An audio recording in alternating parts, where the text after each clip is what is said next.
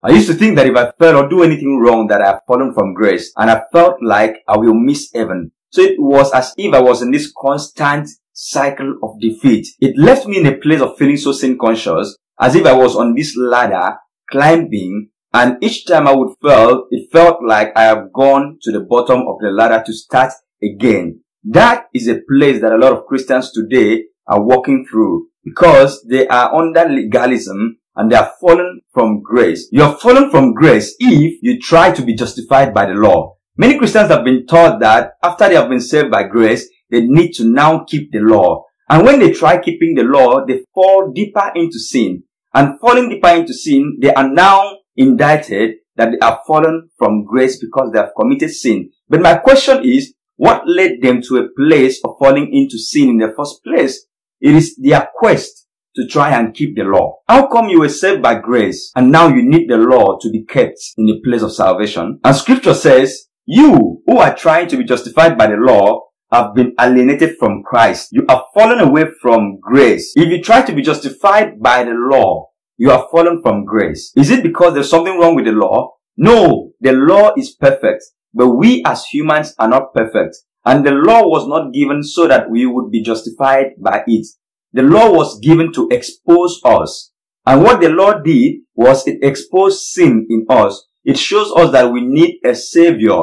And Paul elaborated that in Romans chapter 7 when he said, when I want to do the right thing, I could not. But when I don't want to do something wrong, I find myself doing that. Why? Because there's sin in me. And when the law came, the law exposed that sin. And scripture says that the strength of sin is the law. Because if there was no law of do not be covetous, how would I know that I am covetous when I do that? If there was no law, then there would be no sin. But because there was law, it exposed the sin that was present in me. It is not the law that is the problem. It is me that needs a savior. Grace coming through Jesus Christ is our means of justification before God. But till today, a lot of believers are still trying to justify themselves by trying to keep the law. In Acts of the Apostles chapter 15, there was a little argument about keeping the law to be saved, where the apostles had to meet in a place to agree if this was right before God or not. And Peter answered them and said, Now then, why do you try to test God by putting on the necks of the Gentiles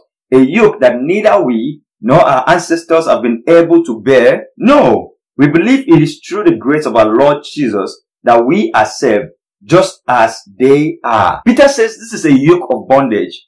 And it's the same thing that Paul referred to in Galatians chapter 5 verse 1, that we should stand in the liberty that Christ has given us and not be entangled again in the yoke of bondage. In 2 Corinthians chapter 3, Paul calls the law the ministry of death and the ministry of condemnation, written and engraved in stones. He was speaking about the Ten Commandments. So if you try to be justified by the Ten Commandments, you are fallen from grace. And that will be the major cause that you fall deeper into sin and struggle in sin without finding a way out.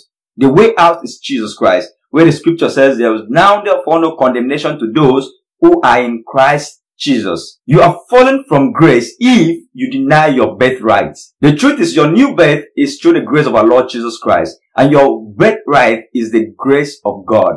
That is your privilege to be given this new nature that you have. And we are not sinners because we commit sin. We are sinners because of the sin of Adam. That is where sin originated. And we took on this sin nature. The Bible says, while we were yet sinners, God demonstrated his love for us and sent his son Jesus Christ to die for us. And through Jesus, we've received the grace of God to be saved and our position and our stand with God changed. That is the place of our justification. And if you deny this birthright that Christ has died for you and through the grace of God you are made right with God, you are fallen from grace. So the sin of unbelief in the grace of God is what makes you fall from grace. It is just as if you are given this gift freely and you take it for granted, reject it, and deny it. Esau, the son of Isaac, sold his birthright and took it for granted. He even said, what is this birthright to me? That is how some people treat the grace of God. Because some people feel like on their own, they can be right with God. The scripture says, Look after each other so that none of you fails to receive the grace of God. Make sure no one is immoral or godless like Esau, who traded his birthright as the firstborn son for a single meal. Today, people are trading their birthright which is God's grace. And the Bible calls such people immoral and godless because trading God's grace and not being able to receive it places you in a place of unbelief. And grace is not a topic nor a teaching. Grace is a person. It is the person of our Lord Jesus Christ. The Bible says the word became flesh and dwelt with us, the one and only begotten of the Father, full of grace and truth. This is Jesus. And so scripture says, therefore, if anyone is in Christ, he is a new creation. All things have passed away. Behold, all things have become new. Even Paul Apostle, when he was speaking in Galatians 2, says, I do not treat the grace of God as meaningless. For if keeping the law could make us right with God, then there was no need for Christ to die. If you deny your birthright, you've fallen away from God's grace. And grace is your birthright. It is your privilege to know God more. It is your privilege to be acquainted with God. It is your privilege to go to heaven. You have fallen from grace if you have self-righteousness. The Bible says that our righteousnesses are like filthy rags because we all are like an unclean thing before God. So by the time you feel like God, just give me a little time and I will make it up to you, you have already gotten it all wrong. If any man would have been able to get it right with God, Christ would not die. If there was any righteous acts that you would have pulled up, or anyone would have pulled up, God would not send his son to die. But he sent his son because no man could keep the law. And scriptures say, God saved you by his grace when you believe. And you can't take credit for this. It is a gift from God. Salvation is not a reward for the good things we have done.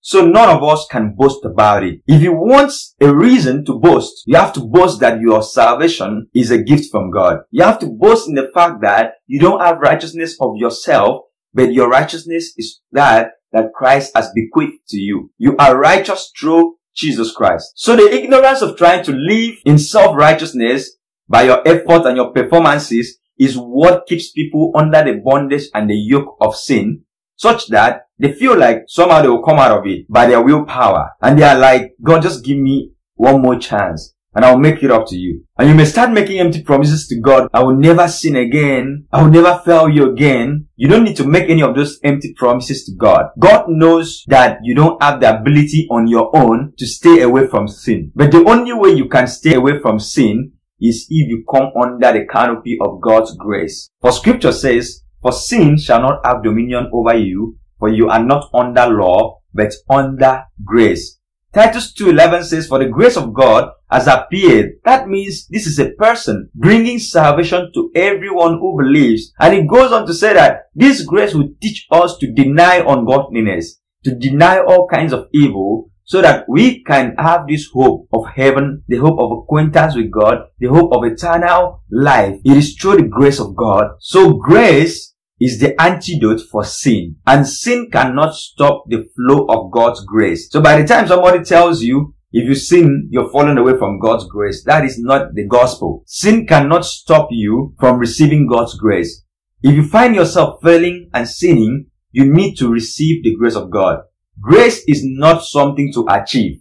It is a gift to receive. And if you find yourself in a place of destitution, powerlessness to be able to let go of your sin, just go to God. God, I need your grace. God, I receive your grace. God, I believed in the finished work of your son, Jesus. God, I believed in all that Jesus had done. I am the righteousness of God in Christ Jesus. I receive the grace to overcome this sin. So in conclusion, to fall from grace is to try to be justified by the law, to deny grace, which is your birthright, and to try to have self-righteousness, which is God, I want you to judge me or treat me according to my works. I want you to treat me according to my performance, according to my efforts. And you don't need to be in such place. If you have found yourself there, God's grace through Jesus is available for you to receive as a gift. Thank you so much for watching this video. I hope it has been a blessing to you. I would like you to share the video to other people, your friends and family, and give it a thumbs up so that YouTube algorithm will make this message go to a broader audience. Thank you so much for being a part of this channel. I am Uwem Akpan. This is my YouTube channel. Hit the subscribe button. See you in the next video. Bye.